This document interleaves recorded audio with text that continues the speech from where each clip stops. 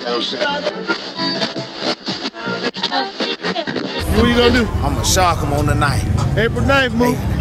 Put spare parts on board. You gonna put spare parts on? You don't notice. Every night he gave me a call, so we got to give him a shocker. He I said he said any D, all D League any Yeah, yeah, he called me. Everybody that ran D League today on notice. He invited me. I told him I didn't know if I could make it because the car been heightening up, but we gonna find out in this next pass. Yeah, we gonna whether we find gonna go or blow.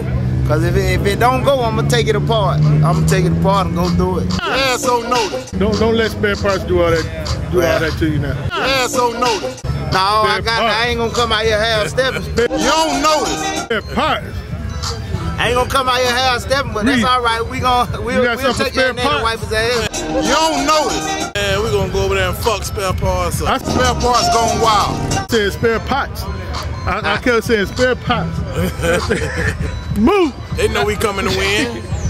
Same All way they did us when they came Yeah, over here. exactly. That's When right. They came over here, they whooped us, so we going over there and we going to win. God damn, hold it, man. We is Bradenton. going to win. April 9th, Bradenton, Trust South me. Florida coming to invade. It's Going down.